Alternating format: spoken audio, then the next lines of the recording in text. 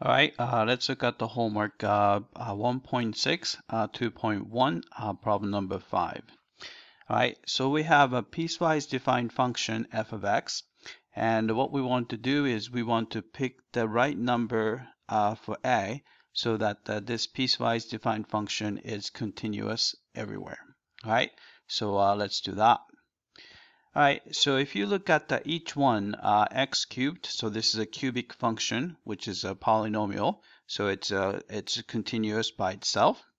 And the second formula is a quadratic function, so it's another polynomial function, so it's continuous everywhere, right?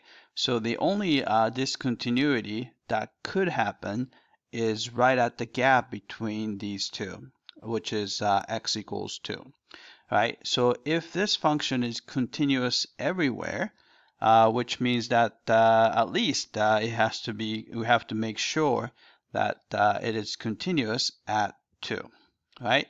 And remember the definition of continuity at 2, and the definition is the limit of uh, f of x as x approaches 2 has to be equal to f of 2, right?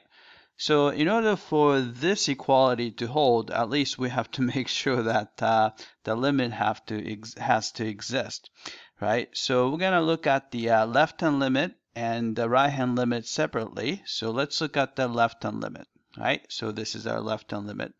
So if x approaches 2 from the left, so something smaller than 2, right?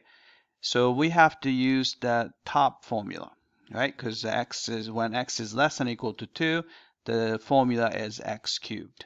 So we're going to take the limit of uh, x cubed as x approaches negative 2. Uh, I'm going to uh, make it a little bit look a little bit better here, right? Then uh, here you can just plug in 2. So if you plug in 2 for x, we get uh, 2 cubed, uh, which is equal to 8. Right, so we got the left-hand limit. Uh, let's look at the uh, right-hand limit. All right, then which is going to give us, uh, let's see, so if you x approaches 2 from the right, we're going to have to use the, the second formula. So I'm going to put the second formula in and then plug in x equals 2. So you're going to get uh, uh, a2 squared, which is just going to be 4a because 2 squared is 4 right? All right so but in order for this uh, regular limit which is both sided right?